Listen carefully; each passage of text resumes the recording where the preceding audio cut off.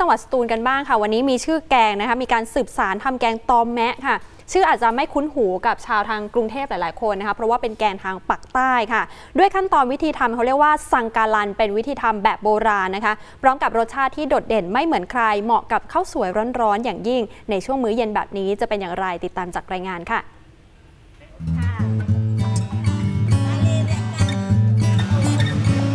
เครื่องแกงทั้งหมดนี้คือส่วนประกอบหลักของแกงตอแมะ อาหารพื้นบ้านของชาวมุสลิมในจังหวัดภาคใต้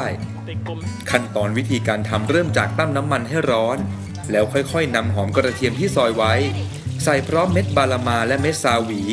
ลงกระทะเจียวแล้วนำเครื่องปรุงลงผัดคลุกเคล้าจนเครื่องเทศหอม จากนั้นใส่น้ำกระทิสดเคี่ยวจนเดือดจึงนำปลาสดที่เตรียมไว้ใส่ลงไป คนจนเข้ากัน แล้วจึงค่อยเติมน้ำมะขามเปียกเล็กน้อย ให้มีรสหวานอมเปรี้ยว ก่อนยกออกจากเตาใส่ใบกาลปอแหลหรือใบสมุยเทศ เอาแค่พอสะดุ้งไฟแล้วจึงยกลงจากเตา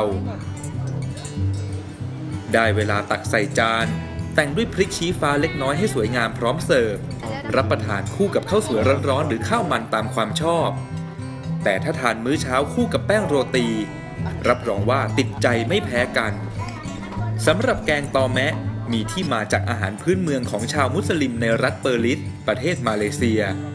มาจากคำว่าตูมิ หมายถึงการผัดเครื่องแกงคลุกเคล้าให้เข้ากับน้ำกะทิสดหรือน้ำมัน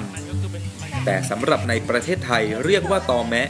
นิยมรับประทานกันในกลุ่มชาวไทยมุสลิมภาคใต้ในจังหวัดสตูล ยะลา ปัตตานีและนาราธิวาสแกงตอแมะจะมีเครื่องแกงที่ไม่เหมือนเครื่องแกงทั่วไป ซึ่งเครื่องแกงจะหอมเป็นพิเศษ ส่วนผสมค่อนข้างเยอะและพิถีพิถัน กระบวนการทำจะแตกต่างจากแกงปกติที่ไม่เพียงแต่ใช้ครกโขกเครื่องแกง แต่จะใช้วิธีที่เรียกว่า สังการัน โดยการใช้กระดาษบดหินบดเครื่องแกงไปมาจนละเอียด แกงตอนแบบแบบว่าเขาต้องอนุรักษ์ไว้เพราะว่าของคนแก่โบราณก็ทำตั้งแต่สมัยโบราณนะคะจนลูกๆหลานๆต้อง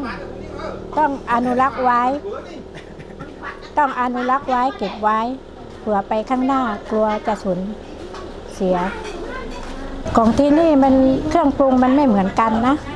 อ่านะคะ มันไม่เหมือนกันแบบคนคนเดี๋ยวนี้ทำดับแปลงใช่ไหมคะอันนี้ของของโบราณของโบราณจริงๆค่ะ เครื่องเบือดนี้มันจะละเอียดกว่า แล้วก็รสชาติมันจะอร่อยกว่าค่ะถ้าตำแล้ว มันไม่ละเอียดนะพูดง่ายๆมันไม่ละเอียดเลย